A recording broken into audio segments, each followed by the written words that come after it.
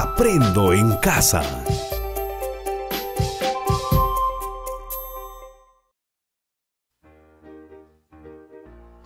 Hola niños, ¿cómo están? Bienvenidos a Aprendo en casa. Iniciamos un nuevo día con muchísima alegría y con la bendición de Dios. Así que iniciemos. Hola, ¿cómo estás? Bien. Hola, vamos a estudiar. Yeah. Hola, qué bien te ves hoy. Uh, hola, un abrazo te doy. Muy bien chicos, iniciemos. ¿Qué día será hoy? Correcto, el día de hoy es martes 15 de septiembre del 2020. Continuamos con nuestro proyecto Así celebramos en mi familia y comunidad. Con nuestra experiencia de aprendizaje celebramos desde el nacimiento. Querido padre de familia, el día de hoy aprenderemos que el cumpleaños es la celebración del nacimiento de una persona y conocerán cómo las familias se preparan y festejan la llegada de un bebé le tejen ropa, eligen su nombre, reciben a los amigos y familiares que vienen a conocer al bebé y a entregarle regalos, e inscriben al niño o niña para que obtenga su documento nacional de identidad DNI. Además, recibirán sugerencias para elaborar una mantita de papel craft, donde dibujarán algunas escenas de la celebración de su nacimiento. No te olvides el día de hoy cumplir con los retos o actividades de extensión, el cual será elaborar una mantita de papel craft o si no también un mural, pegar fotografías o los puedes también dibujar los momentos que más te gustaron de la historia de tu nacimiento. Querido niño, ¿cómo se celebran eventos y fechas importantes en una familia o comunidad? pues podemos celebrar muchísimas situaciones significativas para nosotros, como el cumpleaños de nacimiento, alguna fecha significativa de unión familiar, como es la Navidad, de repente el Día de la Canción Criolla, o una fecha tan importante como es el Día de la Madre.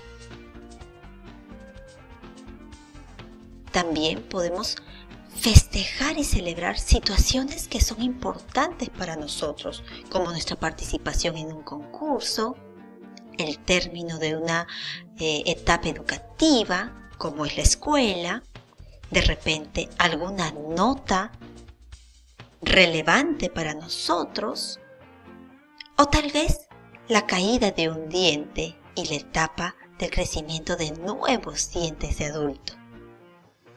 Son muchas las situaciones que podemos celebrar en familia y en comunidad. Aquí te presento algunas de ellas. Hay actividades o celebraciones donde celebran y participan muchísimas personas. Muchas de estas son la fiesta del Inti Raymi en Cusco, la fiesta de San Juan en la selva, la celebración de la Candelaria en Puno, la vendimia en Ica o el Señor de los Milagros. Estas celebraciones en nuestra comunidad congregan muchísimas personas y sabemos que hoy, por la pandemia, debemos guardar distanciamiento social para cuidarnos y cuidar a las personas que queremos y así evitar contraer el coronavirus o COVID-19. fechas importantes festejamos las personas? Pues celebramos siempre actividades o fechas significativas que nos dan alegría y que nos dejan hermosos recuerdos. No olvides anotar tus respuestas en una hoja. Querido padre de familia, es el momento de participar. Apoya a tu niño registrando esta información.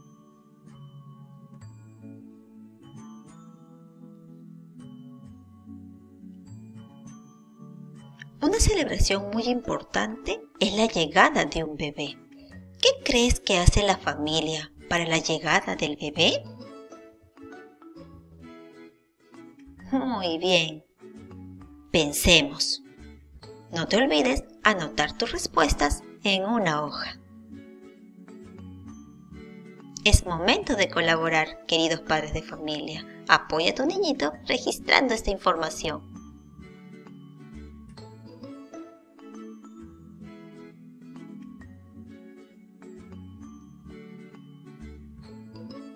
Cuando un bebé está por llegar, hay muchísimas actividades que la familia organiza porque está llena de alegría y de emoción por el nuevo miembro de la familia.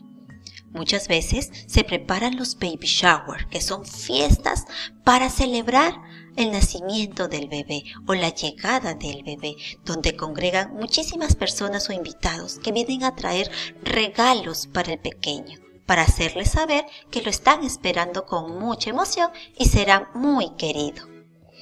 Otra de las actividades es que los padres comienzan a buscar nombres importantes que signifiquen algo o que representen algo para ellos.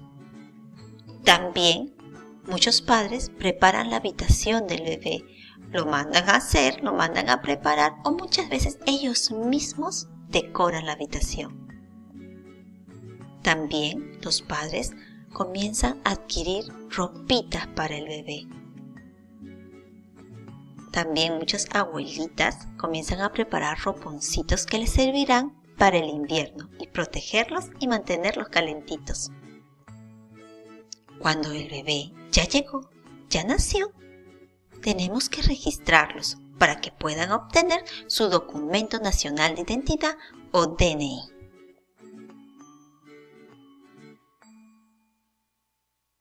Querido niño, pídele a mamá, papá o un adulto responsable que te cuente la historia de tu nacimiento.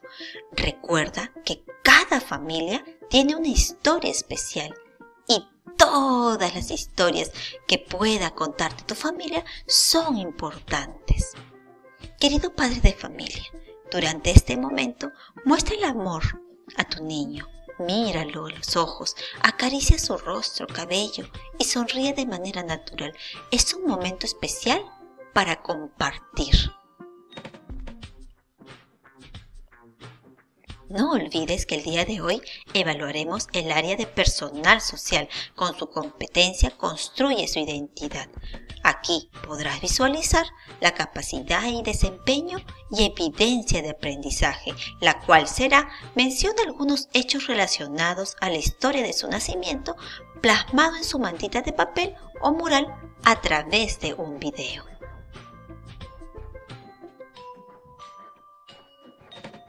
No te olvides de participar respondiendo las preguntas retadoras.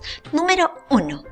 ¿Qué te gustó y no te gustó de la historia de tu nacimiento? Muy bien. Número 2. ¿Sabes quién eligió tu nombre y por qué? Número 3. ¿Cuándo es tu cumpleaños y cómo lo celebraste? Y si aún no lo has celebrado, ¿cómo lo piensas celebrar? Número 4. ¿Cómo te sientes al conocer la historia de tu nacimiento y por qué? Participa respondiendo. Tú puedes.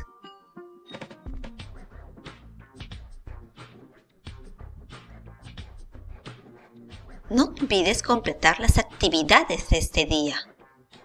Número 1. Participa respondiendo las preguntas retadoras. Número 2. Elabora tu mantita o mural con las fotografías o dibujos que más te gustaron de la historia de tu nacimiento. Número 3. No olvides enviar tu evidencia del día. Completa las actividades y listo, acabamos. Bien hecho. Querido padre de familia, no te olvides apoyar a tu pequeño enviando las evidencias de aprendizaje para seguir aprendiendo juntos. Sigamos aprendiendo desde la comodidad de nuestro hogar en Aprendo en Casa. Nos vemos el día de mañana y muchísimas gracias por toda tu colaboración.